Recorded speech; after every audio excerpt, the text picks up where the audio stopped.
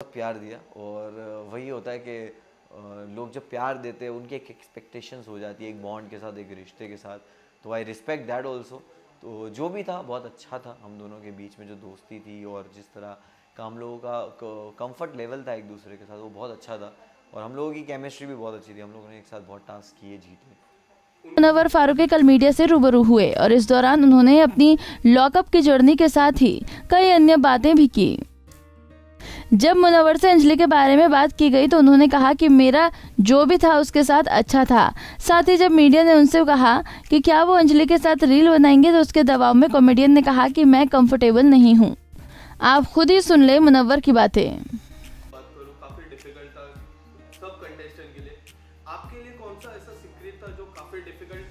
Personally काफ़ी difficult था? और आपने वो सोचा दस बार कि अगर मैं इफ़ आई से समथिंग अगर मैं ये चीज़ बोलता हूँ तो बाहर जाके किस तरह से रिएक्ट होता है? कोई ऐसा टास्क दोनों सीक्रेट्स जो थे, वो दोनों में वही फील था कि उसमें ऐसा कुछ भी नहीं था बट लोग ये सोच लिया था कि जब धीरे धीरे वहाँ पे दो चार चार हफ़्ते के बाद पता चलने लगा था कि आप इतने वोकल वो उसने वो शो ने बना दिया था आपको, कि मुझे ऐसा कहीं ना कहीं लगने लगा कि ठीक है यार, अपने आप को एक्सेप्ट करना भी ज़रूरी है। अपनी कमियाँ हो या खामियाँ हो, जो भी है। वो एक्सेप्ट इस तरह पब्लिकली भी करी जा सकती है और मैंने वही किया शायद। मुनवर मैं आपकी बात करूँ आपकी जो होस्ट कंगना मैम उनसे आपका बॉन्डिंग पहले से काफ़ी स्ट्रॉन्ग लोगों ने स्ट्रॉन्ग देखा था। शो के बाद किस तरह से आप कंगना मैम को देखते हो? मैं कंगना को एकदम प्रोफेशनल देखता हूँ और सबको पता है वो बहुत बेहतरीन अदाकारा है। बट साथ साथ में एक सम, समझदार सुलझी हुई इंसान भी है जो हमें वक्त वक्त पे देखने मिली जजमेंट डे पे कभी कभी उन्होंने जो चीज़ें कही है वो कहीं ना कहीं मैंने उससे कुछ सीखा है उससे कुछ समझ के अपने अपनी लाइफ में ऐड किया है।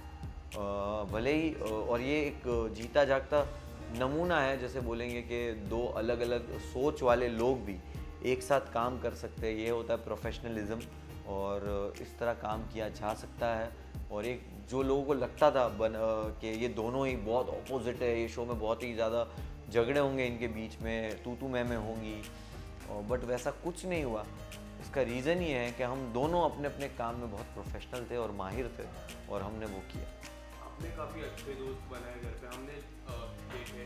कोई ऐसा दोस्त जो आपके सबसे करीब हो? कोई ऐसा दोस्त? एक if you want to pick one एक डिफ़िकल्ट होगा। किसी को भी एक को पिक करना कि कोई मेरे करीब हो। बट सारे ही पाँच छः लोग मुझे बहुत अच्छे मिले जिनके साथ मैंने बहुत अच्छा टाइम स्पेंड किया and I am really grateful कि मुझे ऐसे दोस्त मिले।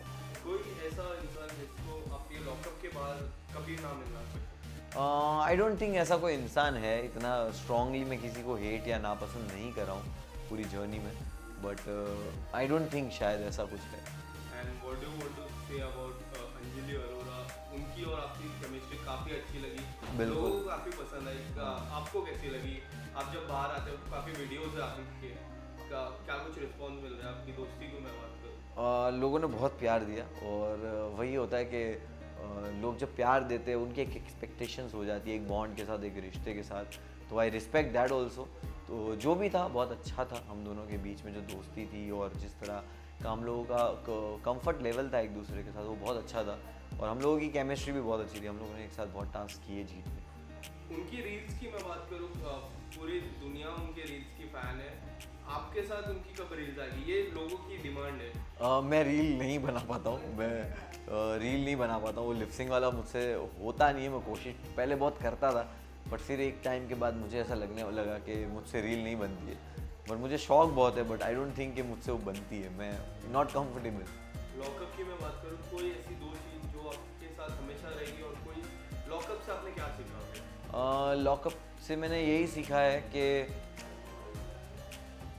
कि आप हर चीज़ कर सकते हो, हर सिचुएशन में आप उससे बाहर आ सकते हो हर काम कर सकते हो।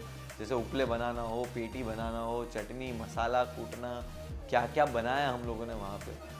रुमाल सिले हैं, साड़ियों की रस्सियाँ बनाई है। तो आई थिंक मुझे लगता है कि मैंने वहाँ से एक चीज़ वो सीखी है कि कुछ भी आप कर सकते हो आप जो कर सकते हो कर सकते हो और इतनी सारी चीज़ें आना भी आसान है। तो अब आने वाले समय में मुनावर को हम कहाँ देख पाएँगे? आप मुनावर को कहीं ना कहीं ज़रूर देख लोगे।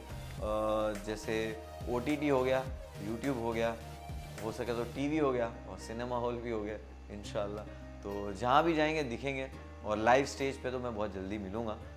कॉमेडी करता हुआ तो ज़रूर आइएगा। Thank you sir